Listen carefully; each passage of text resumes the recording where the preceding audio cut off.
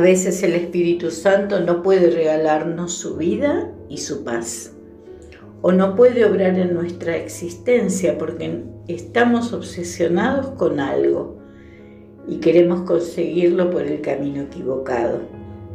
Es cierto que necesitamos amor, todos lo necesitamos. Y si alguien dice que no necesita amor, está mintiendo, se está engañando a sí mismo, se ha cauterizado para no sufrir. En el fondo de su corazón hay un niño necesitado que está gritando de frío y abandono. Pero nunca lograremos el verdadero amor que necesitamos vendiéndonos a los demás tratando de hacer todo lo que esperan de nosotros para que nos quieran, violentándonos por dentro y tratando de ser lo que no somos.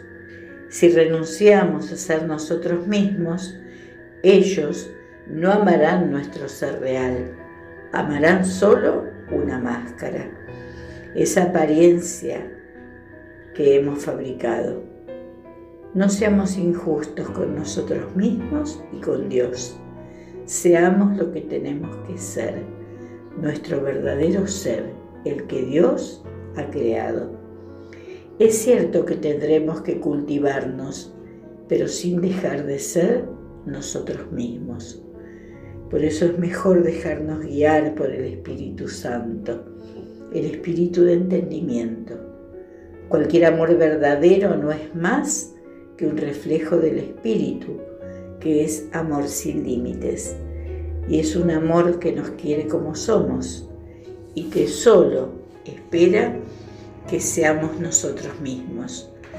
Cuando Él nos toca por dentro para embellecernos, lo hace respetando esa identidad que Él ama. Pidámosle entonces que destruya nuestra máscara y haga brillar nuestra realidad más bella. Ven, Espíritu Santo, y transforma nuestro corazón. Somos Pasos del Creyente, tu nuevo canal católico. Seguinos, suscríbete.